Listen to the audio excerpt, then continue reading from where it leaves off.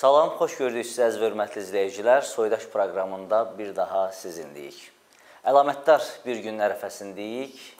E, ölməz liderimiz Azərbaycan Xalq Cümhuriyyətinin banisi Məhəmməd Əmin Rəsulzadənin doğum günü e, bu günlər yaxınlaşır və elə doğum günü ərəfəsində Rəsulzadə irsinin e, çox tanınmış tədqiqatçılarından biri, tarix elmləri doktoru professor, Rəsulzadə mərkəzinin sədri Eyni zamanda 9 e, fevralda ölkəmizdə keçirilən parlament seçkilərində Müsavat Partiyasının namizədi Nəsman bəy Yaqublu bugünkü verilişimizə dəvət etmişik. Nəsman bəy xoş gördük. Xoş gördük. Nəsman bəy, e, gerçəkdən 31 yanvar bizim e, yəni çağdaş tariximizdə ən önəmli günlərdən biridir. Yəni Azərbaycanın gəlmiş keçmiş çağdaş tarixində mən Rəsulzadədən böyük şəxsiyyət tanımıram şəxsən. Ona görə 31 yanvarda soydaşın bir buraxılışını da Rəsulzadəyə həsr etməyi özümüzə borc bildik və təbii ki, bu sahədə danışa bilən, söz sahibi olan insanlardan biri də sizsiz. Elə Rəsulzadədən başlayaq. Rəsulzadə sizin üçün kimdir, millətimiz üçün kimdir, Azərbaycanımız üçün kimdir? Qeyd etmək istəyirəm ki, Məhəmməd Əmin Rəsulzadənin Azərbaycan tarixində və bütövlükdə türk xalqları tarixində dünyada öz azadlığı uğrunda mübarizə aparan xalqların tarixində yerini və rolunu müəyyənləşdirmək üçün bir çox fikirlər səsləndirilib. Dünyanın aparıcı alimləri tərəfindən, tədqiqatçıları tərəfindən, onun yaxın silahdaşları tərəfindən bir çox önəmli fikirlər səslənib, amma bir fikir mənim çox xoşuma gəlib ki, mən onu demək istəyirəm. Onun haqqında ən gözəl fikri söyləyən onun yaxın silahdaşı Mirzəbala Məmmədzadə olub. Mirzəla Məmmədzadə ruhu şad olsun. Yazırdı ki, Rəsulzadə Azərbaycan Milli Qurtuluş Hərəkatının böyük ideoloqudur. Məncə istənilən xalqın yaddaşında, tarixində qalmaq üçün, yaşamaq üçün bundan yüksək bir mövqe yoxdur.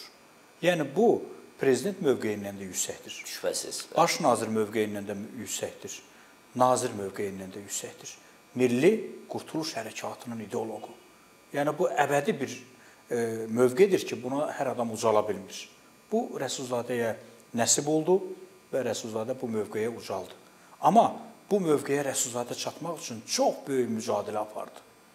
Şanlı, şərəfli mücadilə apardı. Yoxdan bir bayraq qaldırdı öz xalqının başı üzərində və Azərbaycan xalqını azadlığına qovuşdura bildi.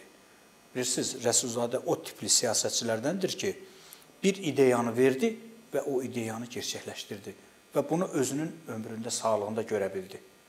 Ona görə də Rəsulzadənin bizim tariximizdəki yeri, e, mövqeyi nə qədər ki bu xalq var, o həmişə yaşayacaq və əbədi mövcud olacaq. Və Rəsulzadə özünün özündən sonra elə bir ideoloji sistem qoyub getmişdir ki, o sistem həmişə əbədi yaşayacaq. Məsələn, o sistemin içindən biz görün nə qədər faydalı şüarlar, fikirlər, sözlər, ideyalar çıxara bilərik və onu başımız üzərində bir şüar kimi səsləndirə bilərik. İnsanlara hürriyyət, millətlərə istiqlal. Bir kərə İndi, yüksələn bayraq bir, bir kərə yüksələn bayraq bir daha e, enməz. Nə, nə qədər nə qədər gözəl fikirlərdir. İndi həmin şüarları gətirin. İstənilən xalqın nümayəndəsinin başı üzərindən asın. Bir dəyişiklik olacaq qətiyyən. Yəni o şüarı Amerika vətəndaşı da başının üzərindən asa bilər, gözəl şüardır. O şüarı Ukraynalı da başının bilər. Ümum bəşəri ideya var. Ümum bəşəri ideyalardır. Bəs Rəsulzadənin böyüklüyü ondadır ki, özündən sonra ümum bəşəri ideyalar qoyub getmişdir. Ona görə də Rəsulzadənin irsini araşdırdıqca, araşdırdıqca məlum olur ki, bu nə qədər böyük bir şəxsiyyətdir. Və elə yeri gəlmişkən deyim ki, biz Rəsulzadənin irsini hələ tam şəkildə insanlarımıza çatdıra bilməmişik. Cəmisi bu günə qədər 5 cildliyi çap olunub, 10 cildliyini də mən hazırlayıram. Birinci cildi çıxıb, mühacirətdəki əsərlərinin 10 cildliyi. Birinci cildi çıxıb, ikinci cildi bu may ayında çıxacaq. İndi başım biraz bu seçkilərə qarışıb. Bu seçkilərdən sonra seçkilərlə bağlı da danışacağıq. Hə, bu seçkilərdən sonra intensiv şəkildə onu yekunlaşdıracağam işləri. Allah qoysa may ayının 28-də onun təqdimat mərasimini keçirdəcəm və sizi də dəvət edəcəm. Çox təşəkkür edirəm. Yəni demək istəyirəm, Rəsulzadənin ümumilikdə bir 20 cildə qədər əsəri var. Nəhəng bir irsdir. Nəsman bəy, sözün qüvvəti olaraq mən e, Rəsulzadənin əsərlərindən hamısını yox, müəyyən hissəsini oxumuşam. Yəni ictimai düşüncəmin, siyasi düşüncəmin formalaşmasında o əsərlərin müstəsna rolu var. Amma bir şeyi mən e, müqayisə üçün deyirəm. Rəsulzadənin əsərlərində bizim həyatımızın hər bir sahəsi haqqında bir yol xəritəsi gördüm ədəbiyyatımızdan, siyasətimizdən, mədəniyyətimizdən tutmuş tariximizə qədər Rəsulzadə bütün sahələr haqqında yazıb. Yəni insan bir ömrə, insan bir həyata bu qədər istedadı, bu qədər bacarığı necə e, sığışdıra bilir? Hər zaman təəccüb edirəm mən Rəsulzadə şəxsiyyətinə. E, və e, Mirzəbala Məmmədzadədən misal gətirdiniz ki, Milli Qurtuluş Hərəkatımızın ideoloqudur. E, bir, bir zaman mən də yazılarımda yazmışdım. Bəlkə də indi cəsarət olması sizin yanınızda. Rəsulzadəni dünyanın çox tanınmış siyasi, ictimai simaları, məsələn, Mahatma Gandhi ilə, e, Mustafa Kemal Atatürklə, e, məsələn, İtaliyada Garibaldi ilə, e, İngiltərədə Oliver Cromwell-lə müqayisə etmək də olar, mənə elə gəlir ki, hətta Bismarckla belə müqayisə etmək olar. Çünki yoxdan bir bayraq, bir istiqlal rəmzi yaradan bir insan yalnız onlarla müqayisə oluna bilər. Yəqin mənim dediyimlə razılaşarsınız. Bilirsiniz, burada e, bir neçə məqamlar var. E, biz onlara yəni diqqət etməliyik. Yəni bu insan e, çox dərin zəkaya malik bir insan olub. İkincisi bu adam dəyişən dünyanın şərtlərini tez götürüb qavrayıb və onu öz fəaliyyətinə daxil edə bilib. Yəni bu çox vacib məsələdir. Məsələn, Rəsulzadə 15-ci ildə Açıq Söz qəzetində bir məqalə yazır. Tutacağımız yol başlığı hansı şüarı çıxardır? Müasirləşmək, əsrləşmək. Çünki Rəsulzadə görürdü ki, müasirləşməsən, əsrləşməsən öz haqqına sahib ola bilməyəcəksən. Və çox uzaq görən siyasətçi idi. Məsələn, yenə 14-15-ci ildə məqalələrin birində yazır ki, bu hərbdən sonra o vaxt 1-ci Dünya müharibəsi gedirdi. Bu hərbdən sonra dünyanın xəritəsi dəyişəcək. Biz ona hazır olmalıyıq. Maraqlı şeydir. Hələ 15-ci ildə müharibə 1 ildə başlayıb müharibə 18-ci ildə qutardı da, Mudros müqaviləsi imzalanandan sonra. Bu hələ müharibənin qurtarmağına 3 il qalmış bu adam deyir ki, müharibədən sonra dünyanın xəritəsi dəyişəcək. Dəyişdi də. Bəli, bəli. Rusiya Rusiya Aşağı Rusiya bəli, fevral burjuavi inqilabı oldu, çar devrildi, yeni dövlətlər yarandı. Xəritə dəyişdi. Yəni bu adam həm uzaq görən idi, həm də ona xalqı hazırlayırdı. İkincisi, e, Rəsulzadə bilirsiniz bizim şərq insanları, şərq toplumu humanitar şuura sahib insandır. Bədii şuura sahib insandır. Yəni bizdə siyasi şuura sahiblik çox gec başladı. Bilirsiniz də bu Avropada başlayan inqilablar, İngiltərə inqilabı, Fransa burjua inqilabı xalqları siyasiləşdirdi, millətləri Doğru, siyasiləşdirdi və xalqlar siyasi şuura sahib oldular. Bir millətləşmə prosesinə keçdilər. Bəli, getdi. Yəni buna mətbuatı yarandı, partiyaları yarandı, təşkilatlar, cəmiyyətlər yaratdılar. Bunlar hamısı bu insanları siyasi cəhətdən şuurlandırdı. Doğru. Şərq insanı çox gec şuurlandı siyasi cəhətdən. Ona görə də Məmməd Əmin Rəsulzadənin ən böyük xidməti nədən ibarət oldu? Öz millətini siyasi cəhətdən şuurlandırdı. Bax, özünün bir sözü var. Yazırdı ki, siyasi firqələri olmayan millətin, yəni siyasi partiyaları olmayan millətin siyasi şuuru ola bilməz. Bədii şuur yox ha. Humanitar şuur yox ha, siyasi şuur ola bilməz, siyasi duyğusu ola bilməz. Siyasi duyğun olmasa millətin azadlığı uğrunda mücadilə edə bilməzsən ki. Şübhəsiz. Baxın Qafqaza situasiya necə idi? Gürcünün siyasi partiyası var idi. Erməninin artıq 3 dənə siyasi partiyası var idi. Azərbaycanın hələ partiyası yox idi. Ona görə də ilk dəfə milli siyasi partiyadan gedir söhbət. 1911-ci ilin oktyabr ayında Məmməd Əmin Rəsulzadə Müsavat partiyasına təşkil tapşırıqlar verdi. Özü o vaxtları e, İranda, İstanbulda idi. Tapşırıqlar verdi və ilk siyasi partiyanı yaratdılar və ondan sonra Azərbaycan uğrunda mübarizə başladı. Siyasi şuurla başladılar. Humanitar şuurla mübarizə aparmaq olmur ki. Şübhəsiz. Partiyanı yaratdılar, proqramı müəyyənləşdirdilər və 1915-ci ildə nəşrə başlayan Açıq Söz qəzeti həmin partiyanın demək olar ki, orqanı. əsas orqanı kimi fəaliyyət göstərdi və milləti mücadiləyə hazırladılar. Ona görə də bizim azadlıq mücadiləmizin çox zəngin bir tarixi var. Birinci mərhələ başlayır 19-cu əsrdən. Mirzə Fətəli Axundovdan başlayır, Abbasqulu Ağa Bakıxanov, Qut Qaşınlı mədəni maariflənmə mərhələsi. Gəlir çıxır E, Həsən bəy Zərdabiyə, gəl o bir, bir qədər qəzet yaranır, biraz da genişlənir. Topçu Başov gəlir. mərhələsi gəlir ki, Rusiyada yaşayan müsəlmanların azadlığında mübarizə Hətta musiqimizdə Üzeyir Hacıbəyov və Üzeyir Hacıbəyov gəlir, amma bu sonuncu mərhələ artıq başlayır mədəni maariflənmə, apogey ərazi muxtariyyəti uğrunda mübarizə, istiqlal mərhələsi. Bu iki mərhələ Məmməd Əmin Rəsulzadə adı ilə bağlıdır. Ərazi muxtariyyəti uğrunda mübarizə, Bəli. yəni artıq mədəniyyət, mədəni mübarizədən keçirik ərazi muxtariyyətına. Bunu da ilk dəfə kim səsləndirir? Məmməd Əmin Rəsulzadə. Harda? Qafqaz müsəlmanlarının 1918-ci ilin aprel ayının 15-dən 20-sinə qədər Bakıda keçirilən qurultayında. Biraz keçir, Rusiyada bunu Rusiyada səsləndirir. Keçirdi, Rusiyada müsəlmanların e, qurultayında, Rusiya müsəlmanlarının qurultayında Moskvada səsləndirir. Özdə iki məsələ qoyulur ortalığa orada. Birinci məsələ mədəni muxtariyyət məsələsi, yəni Rusiyada yaşayan müsəlmanlara mədəni muxtariyyət verilsin. İkinci məsələni qoyurlar e, məhəlli muxtariyyət. Birincisini Əhməd bəy Salikov qoyur, birincisini, ikincisini Rəsulzadə. Rəsulzadənin ideyası qəbul edilir. Rusiyada yaşayan müsəlmanlara məhəllə ərazi muxtariyyəti verilsin. Yəni demək istəyirəm, Rəsulzadə ilə bağlı hansı məqama gedirsənsə, bu insanın fədakarlığını görürsən. Çox maraqlıdır. İndi üzr istəyirəm, bir söz də dediniz, o hər bir sahədə bu adamda yeniliklər vardı. Ədəbiyyat deyirsiniz. Bəli, ədəbiyyatda yeniliklər vardı. Mən hesablamışam. Deməli, Məmməd Əmin Rəsulzadənin deməli 1920-ci ilə qədər Bakıda olduğu dövrdə 11-dən çox gedib tamaşaya pyesə baxıb. Məmməd Əmin Rəsulzadə öz şeirləri də yazırdı.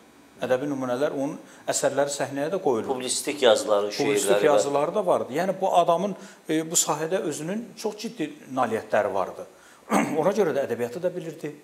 Ona görə musiqini də gözəl bilirdi. Məsələn, Üzeyr Hacıbəyovun 1907-ci ildəki o bəli, zat səhnəyə qoyulanda 1908-ci ildə. Bəli. 7-ci ildə, 7-ci ildə. 7-ci ildə yanvar ayının 12-sində səhnəyə qoyanda o, o Rəsulzadənin də yaxından iştirak etdiyi Nicat Cəmiyyətinin çox böyük fəaliyyəti oldu. Nicat Cəmiyyəti o vaxtları həmin o əsərin tamaşaya qoyulmasına ciddi dəstək verdi. Rəsulzadə də Nicat Cəmiyyətinin fəal üzvlərindən biri idi. Yəni demək istəyirəm ki, yəni bizim mədəniyyət ədəbiyyat sahəsinin də böyük fədakarlığı Hara baxırıqsa orada Rəsulzadə izi var. Rəsulzadənin imzası var şübhəsiz. Bir də e, Nəsman bəy e, belə bir fikirlər səslənir. Mən də o şübhəsiz o fikrə qoşulanlardan biriyəm.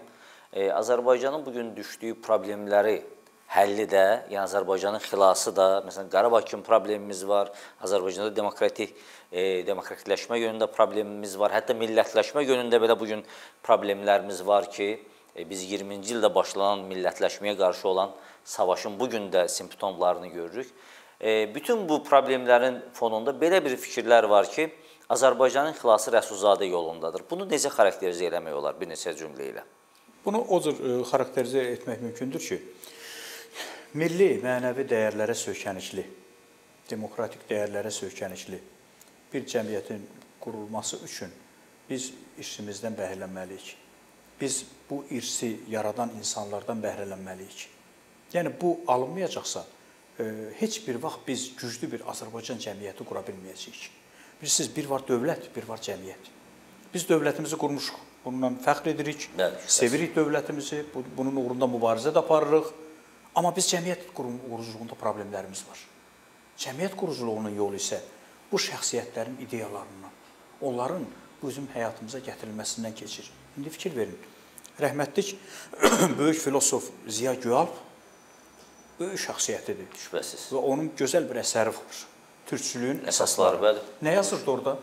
Çox gözəl bir söz yazırdı orada. Yazırdı ki, milli kültür mərhələsini keçənməyən xalqlar ümum bəşəri mədəniyyət sisteminə daxil ola bilməzlər.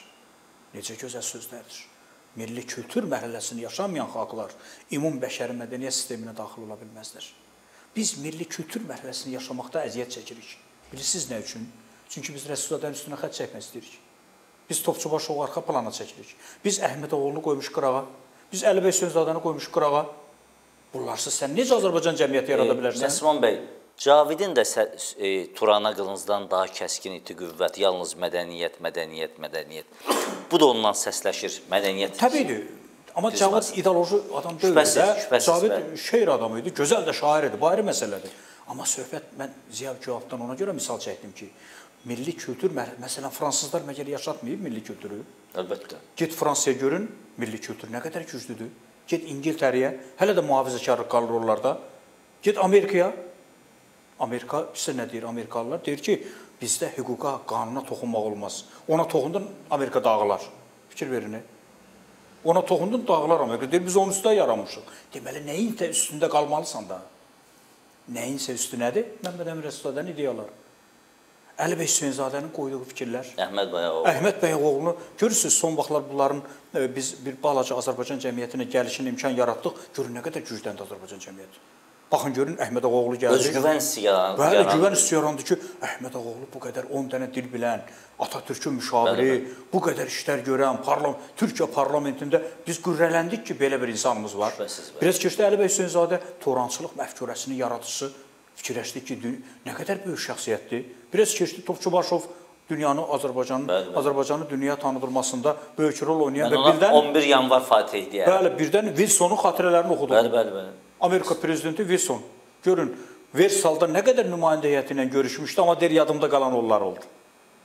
Çox maraqlı şeydir. Çox, çox. Deyir yadımda qalan yüksək mədəniyyətə sahib, yüksək biliyə sahib insanlarla görüşdüm. Qafqazdan gələn insanlarla. Topçubaşov gil nəzərdə tutur. Bunlarla indi biz niyə fəxr etməyək? Niyə bunları biz ideoloji sistemimizə daxil etməyək?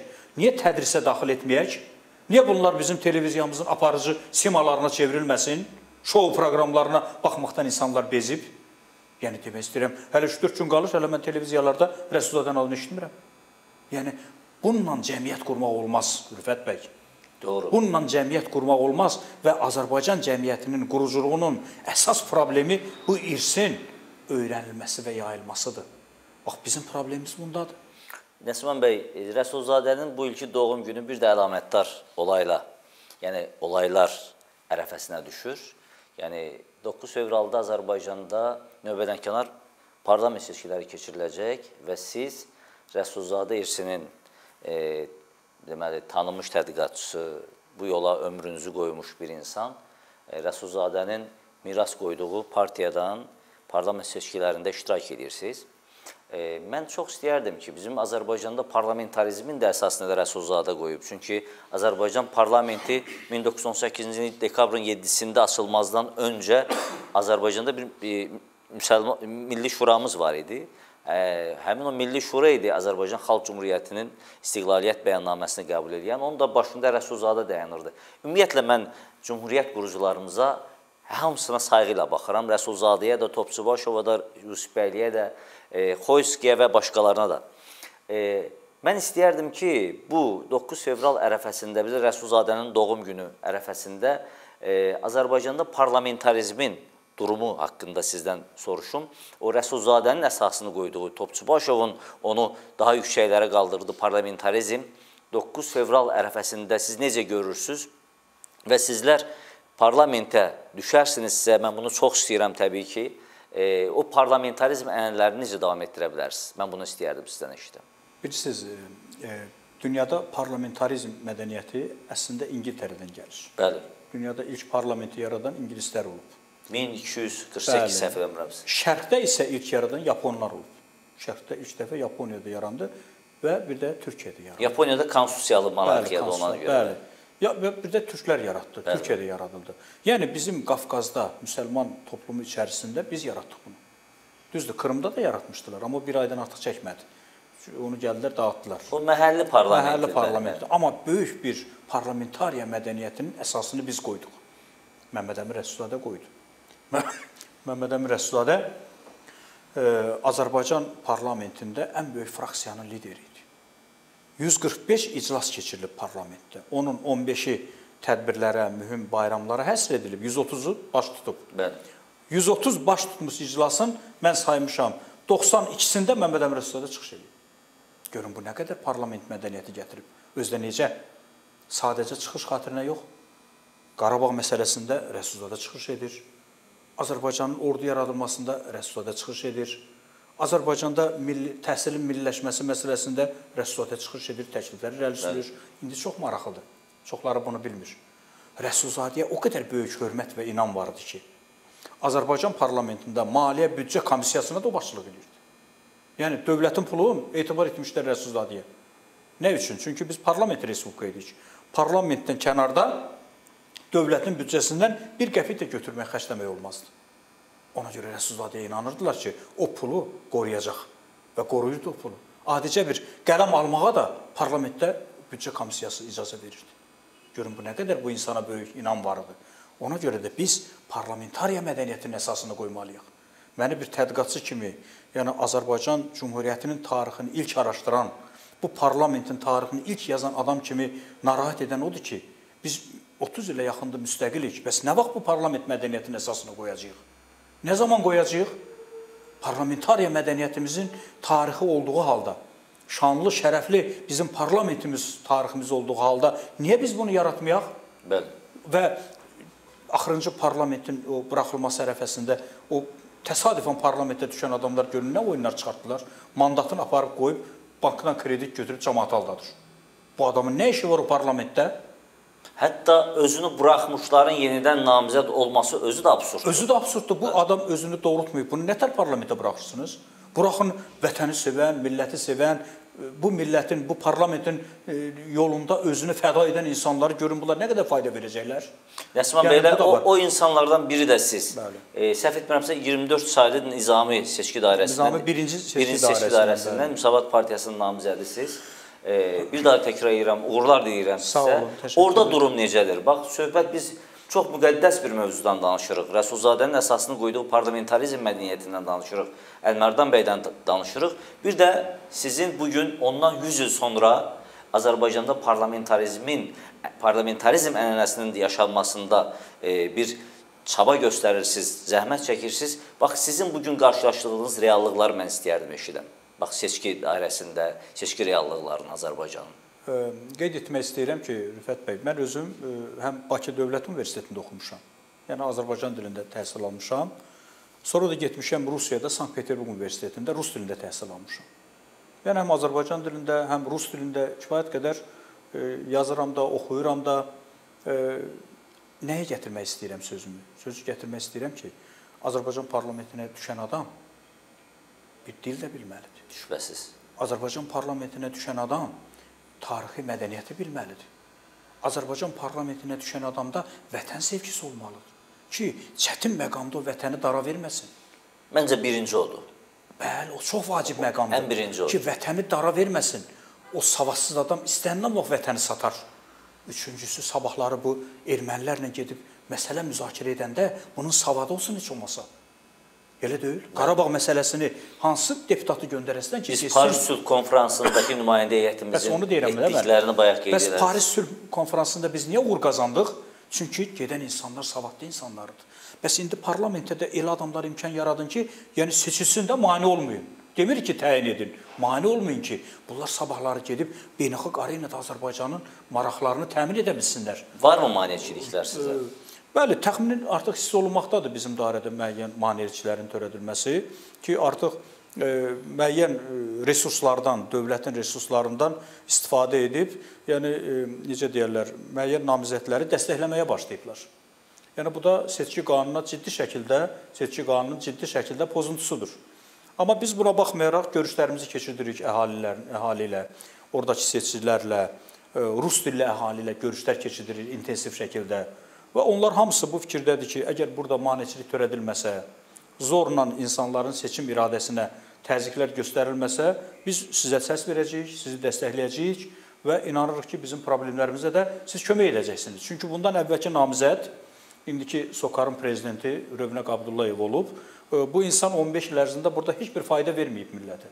Seçicilər ona ciddi şəkildə narazıdır. Əslində dövlət şirkətidir. Bir də e, o Montesquieu-nun hakimiyyətin bölgüsü prinsipi Bəli. var da. Ölkədə əgər bir adam icra edici funksiya ilə məşğuldursa, onun parlamentdə nə işi var? Yəni Bəli. başqaları da mən elə gəlir son dövrdə biraz azalıb. Prezident aparatının rəhbəri deputat seçkiləri 95-ci il xatırlayıram. Ümumiyyətlə bu ənənəni yaşatmaq lazımdır və təbii ki, sizlərin parlamentə düşmə düşməyiniz də təbii e, və yəni söhbət Rəsulzadə yolundan gedir. Rəsulzadə yolu mən elə gəlir ki, Azərbaycan yoludur. E, millətin yoludur və bununla bağlı yenə də sizə uğurlar diləyərək Mən üzr istəyirəm bir şey də demək istəyirəm. davam edin. Elə vaxtımız Mənim var. yəni məqsədim ondan ibarətdir ki, yəni e, bu seçimlərdə, bu seçimlərdə e, qabiliyyətli, bacarıqlı insanların e, parlamentə düşməsinə imkan yaradılsın. Yəni onların haqqı tapdanmasın. Yəni bu Azərbaycan dövlətinə bir xidmət olacaq. bu insanların gücündən faydalanıb Azərbaycanın problemlərini həll etmək mümkün olacaq. Və kifayət qədər Azərbaycanın problemləri var. Və nəhayət insanlarda e, seçim belə deyək ki, şuuru inkişaf edəcək. Seçim şuuru inkişaf etməyən xalqların, millətlərin aqibəti də pis günə düşür. Ona görə də seçim şuurunu qarşılamaq, ona zədə vurmaq millətin varlığına zədə vurmaqdır. Bax məni bu narahat eləyir. Orda seçildi, seçilmədim, bu ayrı məsələdir. Amma mən istəyirəm insanların seçim şuuru zədələnməsin. Və təxminən bir 5-6 gün əvvələ qədər bizim dairədə insanlarda elə bir inam vardı ki, ki, nə yaxşı, bura mane olmurlar. Biz gələcəyik, istədiyimiz adama səs verəcəyik. Sizə də dəstək verməyimiz gözlənilir. Nə baş verdi 5-6 gündə? Birdən-birə 5-6 gün ərzində e, Sokarın imkanlarından istifadə edib, faydalanıb E, rayon icra hakimiyyətinin imkanlarından faydalanıb birdən-birə bir başqa bir namizədi başladılar güclü şəkildə dəstəkləməyə. Yəni bunun qarşısına dayanmaq çox çətin yəni, məsələdir. Yəni onlar anlamır ki, inzibati hə, resursları Bəli, e, inzibati resursları yönəldirlər, görüşlərə aparırlar. Zavod fabriklərinin özlərinin nəzarətində olan adamları bəli aparırlar görüşlərə, başlayırlar müəyyən öz imkanlarından istifadə etməyə, resurslardan ki, bu insanları sındırıb, sındırmaqdadır. Baxmayaraq ki, biz hələ də istəyirik ki, insanlar inamlarını itirməsin, seçkiyə gəlsin, mən orunda mübarizə aparıram əslində, gəlsinlər seçkiyə. Axır ki, bu seçim məsələsi bitsin. İnsanlar seçimə gəlməməsi çox pis şeydir. Əlbəttə. Mən istəyirəm ki, insanlar gəlsin seçimə. Amma bir tərəfdən də bu resurslar imkan vermir ki, insanlar seçimə gəlsin. Zorla gələn seçimə insanların da hansı seçim şuuruna malik olacağı artıq göz qabağındadır. Hər halda biz seçim təbliğatımızı aparırıq, insanlarla görüşürük Bu həftə bir neçə görüşlər keçidəcəyik, çoxsaylı görüşlər keçidəcəyik. Bu haqda da mətbuatda kifayət qədər məlumatlar gedir, informasiyalar gedir və nəhayət fikri ona gətirmək istəyirəm ki, biz Azərbaycanda parlamentariya mədəniyyətinin bax bu seçkilərdə əsasını qoymaq şansı əldə etmişik. Bu çox önəmlidir. Yəni cəmiyyəti parlamentariya mədəniyyəti qədər yüksək mədəniyyət təsəvvür edilə bilməz. Gördünüz biz İngiltərə mədəniyyəti ən böyük hissəsini nə təşkil edir? Parlament mədəniyyəti. Doğrudur, doğru. Gördünüz biz Amerikadan danışdıq, gördünüz biz Fransadan danışdıq, Türkiyədən böyük millət məclisindən danışdıq. Hamısında mədəniyyət, kültür gəlir çıxır seçimə, parlamentariya mədəniyyətinə ki, bunu biz qapamamalıyıq. Bilirsiniz, biz hamımız Azərbaycan vətəndaşıyıq. Hər bir Azərbaycan vətəndaşının seçib seçilmə hüququ var. O hüququ qoymamalıq tapdanmağa. O hüquqa çox sayğı ilə yanaşmalıyıq. Çünki bu çox vacib məsələdir. Ki bundan başlayır vətən sevgisi. Əhməd Ağaoğlu yazırdı ki, vətən sevgisi hamımızda var. Amma vətən gərək elə olsun ki, onu da sevə biləsən. Bəli, bəli, çox gözəl. Çox maraqlı. Çox gözəl. Yasman bəy, mənim e, mənim üçün də bu ağrılı yerimizdir. Yəni bir vətəndaş olaraq, yəni cəmiyyətdə o seçim imkanları məhdudlaşdırılanda cəmiyyətdə bir nihilizm əhval ruhiyyəsi yaranır, ümidsizlik yaranır.